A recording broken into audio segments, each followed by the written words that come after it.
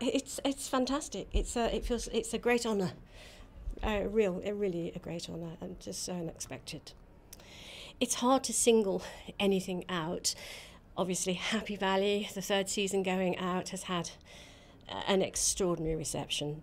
Um, so I think that's going to live with me for a very, very long time, if not forever. I think now.